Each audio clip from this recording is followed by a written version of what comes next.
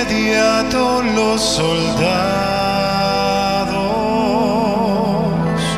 disfrazaron a Jesús,